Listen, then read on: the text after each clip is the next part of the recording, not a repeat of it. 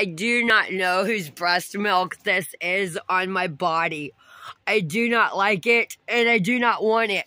I want a mastectomy. I want my tits cut off. I do. I do not want to be fat with breasts.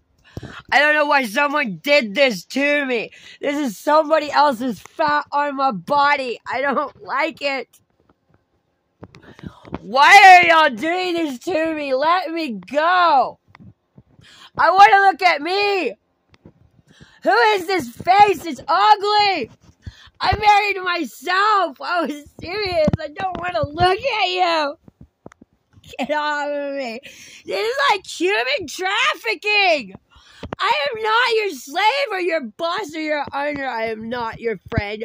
I do not want to be with a gay guy. I am not bisexual. I do not want to fuck children. I do not want to fuck lesbians. I do not want to wear your fat. Look, I shape to my husband.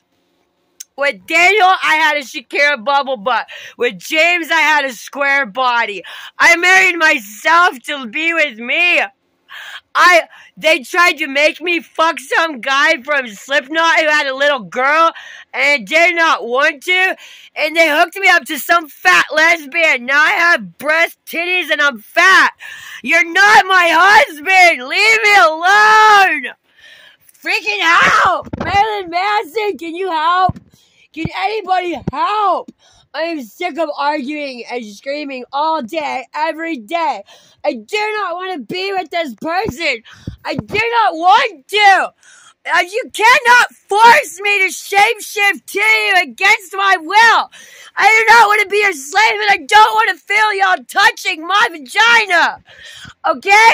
I married myself and I want to be with the guy. I want my fucking sex rabbits to be fixed so they work. I gave sex rabbits to James Woodyard. I don't appreciate being molested or people switching my body and doing this to me. I don't.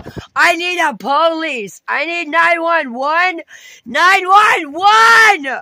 Will you help? They're eating me! Make them stop!